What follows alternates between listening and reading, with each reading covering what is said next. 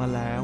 เราเคยเชื่อกันว่า ปลายกรุงศรีอยุธยาคือยุคเสื่อมจนดับศูนย์ แต่หลักฐานใหม่ ๆ ทางประวัติศาสตร์ได้บ่งชี้ว่า กรุงศรีไม่เคยเสื่อม ความรุ่งเรืองไม่เคยสิ้น ผู้คนเมื่อครั้งบ้านเมืองดี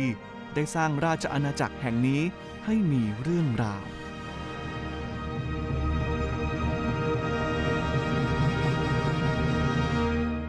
ตีความว่าสมเด็จพระเจ้าเสือเป็นเป็นมนุษย์เลย เป็นคนที่มีอารมณ์มีความต้องการอย่างมนุษย์อะ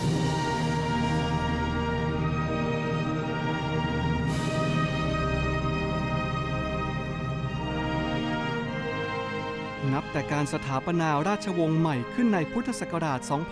2231 ราชวงศ์บ้านพลูหลวง มีพระมหากษัตริย์ปกครองกรุงศรีอยุธยาทั้งสิ้น 6 พระองค์ รวมระยะเวลา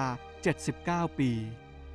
สมเด็จพระเจ้าเสือ หรือสมเด็จพระสันเพชรที่ 8 พระมหากษัตริย์ลำดับที่สองแห่งราชวงศ์บ้านพลูหลวง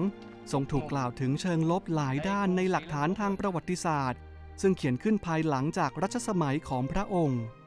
ถ้าเผื่อจะพิจารณาดีๆเนี่ยจะเห็นได้ว่าประวัติศาสตร์กรุงศรีอยุธยาโดยเฉพาะยิ่งตอนปลายเนี่ยหา หลักฐานโดยแท้ที่เป็นรูปธรรมเนี่ยยากมาก เพราะนอกจากจะโดนเผาไปแล้วเนี่ยคนเขียนถึงในจดหมายเหตุก็เขียนใน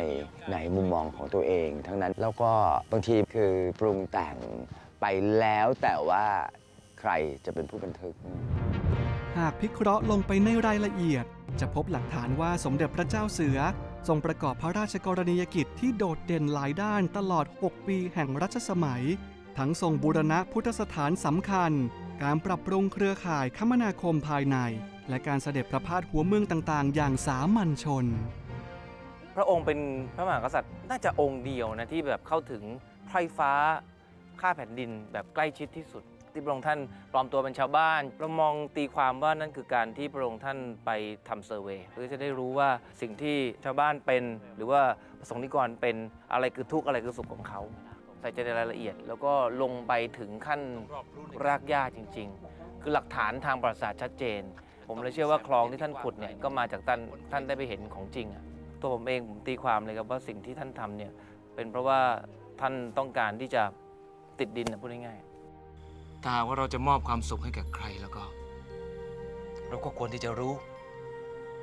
ว่าความทุกข์และความสุขของเขาคืออะไร ไม่ใช่คิดไปเอง